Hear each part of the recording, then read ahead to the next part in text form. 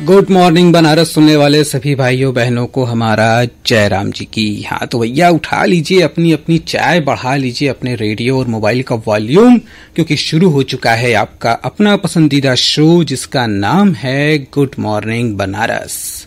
और कार्यक्रम में आपके साथ हूँ मैं, आपका बनारसी बाबू। तो बनारसी बाबू के साथ आप सुन रहे हैं आपकी वाड़ी आकाशवाणी। हाँ तो भैया बाबा भोले का महीना सावन शुरू हो चुका है। वो गाना तो आपको याद ही होगा भैया श्रवण नक्षत्र से श्रावण का महीना बनता है, जिसको आम बोलचाल में हम आप सावन कहते हैं। और भैया, इस सावन में बनारसियन के कुछ सूझा लाना तो ऊ बहरी अला चकाचक बाटी चोखा के सरोता पिरोग्राम और ऊपर से मस्त चूरमा। आय हाय हाय, मज़ा आ जाला गुरु। लेकिन जे बनारसी ना हो ना, ओके, ये बात बड़ा अचरज होला। लेकिन ये अचरज ही न गुरु बनारस का असली रज है और यही रज में राज है, जिसका आज तक से कोई था नहीं पा पाया।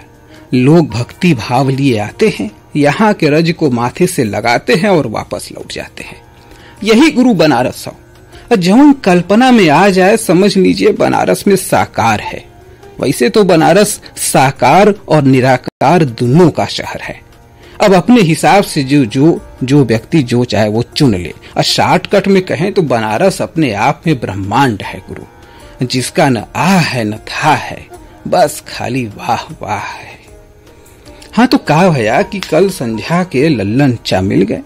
वही अपने बिंदु माधव मंदिर के लग। के जयरम्मी के बाद बतावे लगे कि अपने छोटका बेटुआ के कंगन वाली हवेली दिखावे आए रहे। हैं हम कहें, चच्चा, ई तो आप बड़ा बढ़िया काम किए।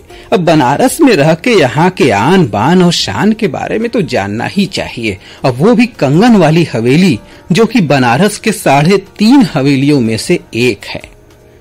का का का? का कहें आप लोग? आप लोग के नहीं पता साढ़े तीन हवेली के बारे में? अरे तो कोई बात नहीं ये बनारसी बाबू किस लिए है? आज आप लोगों के कंगन वाली हवेली के बारे में बता दें, बाकी अढ़ाई हवेली अगली बार हाँ तो ये कंगन वाली हवेली गुरु पंचगंगा घाट के बगल में है। और कुल पाँच तल्ला का ही हवेली है। इसको जब आप घाट की ओर से देखते हैं तो इसकी सभी मंजिलें दिखाई देती हैं। मगर जब ऊपर आके देखेंगे तो खाली दो ही मंजिल। आज से करीब 500 साल पहले राजा मानसिंह ये हवेली बनवाए रहे।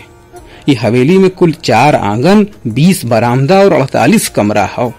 साथ ही घुसते मंत्रा बाएँ हाथे राम जानकी जी के बड़ी दिव्य मंदिर हो, बड़ा मनोहर भगवान का दर्शन होला उनमें तो अब बाहर तेलंग स्वामी जी के मठ हो। तो भैया, आगे जब भी आप उधर जाएँ, हवेली में ज़रूर जाएँ, देखें और उस समय की स्थापत्य कला का दर्शन करें। हाल चाल के क्रम में ही चच्चा बताएँ कि आजकल उनके बेटे को 20 साल की उम्र में ही हड्डी में बड़ा दर्द होता है। कभी हाथ में, कभी पैर में, कभी एड़ी में। है? बहुत दवा कर करके हार गए बेचारे। अब समस्या तो गंभीर थी। तो हम कहें कि क्यों न इस समस्या पर बात किया जाए? तो हम बात किए गवर्नमेंट डिस्ट्रिक्ट हॉस्पिटल के भेलूपुर के senior homeopathic medical officer doctor Anil Kumar Gupta ji से। तो बनारसी रस्म पगे डॉक्टर साहब ने जो बताया, आप लोग भी सुनिए और उसका लाभ उठाइए।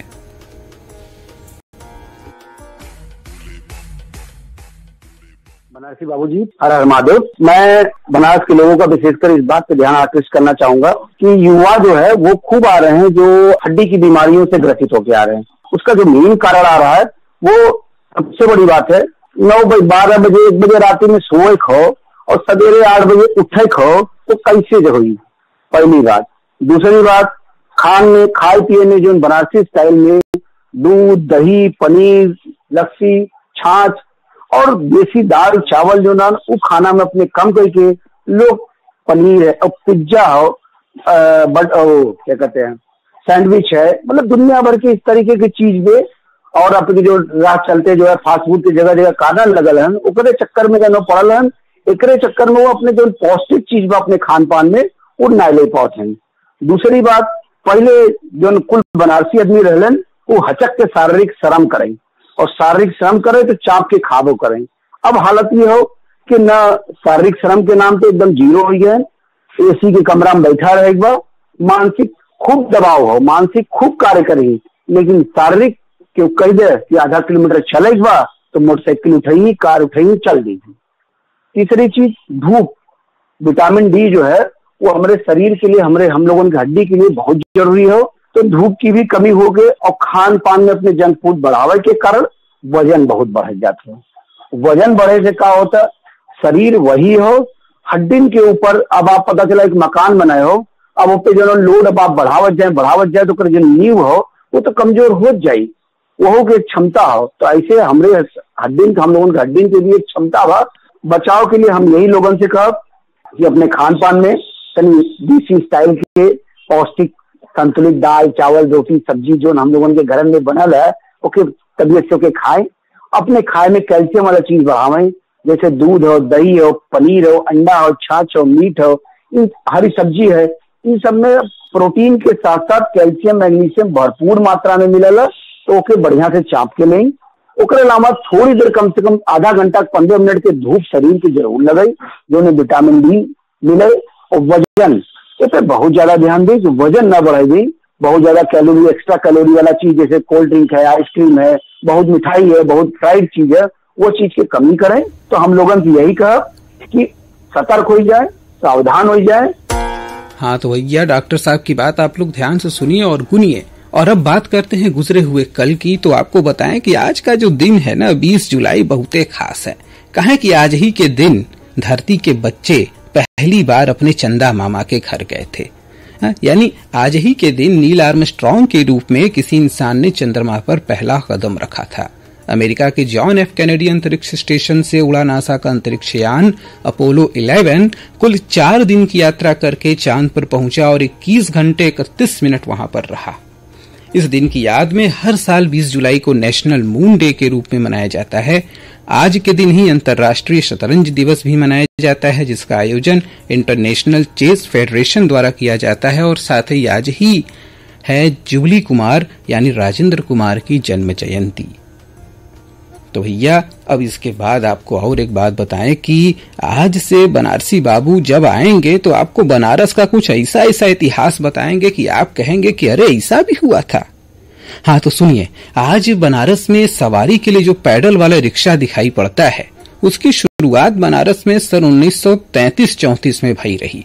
सबसे पहले दी रेस्टोरेंट के मालिक बद्री बाबू कलकत्ते से रिक्शा बनवा कर यहाँ लाए थे। हालाँकि जब वो रिक्शा शहर में किराए पर चलवाना शुरू किए तो उस समय के इक्का तांगा वालों ने इसका बहुत विरोध किया। पुरनिये बताते हैं कि उनके विरोध के कारण खुद बद्री बाबू रिक्शा चला करके गोदौलिया से कैंट तक लेकर गए।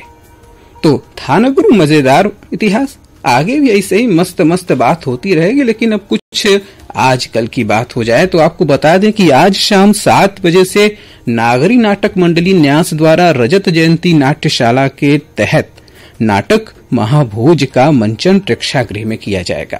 तो आप भी जाइए और वहाँ पर आनंद लीजिए। और चलते चलते आपको और भी बता दें कि आज़ादी का अमृत महोत्सव के अंतर्गत संस्कृति विभाग द्वारा सांस्कृतिक प्रतिभा खोज का आयोजन सभी जनपदों में किया जा रहा है, जिसमें कि आवेदन की आज अंतिम तिथि है।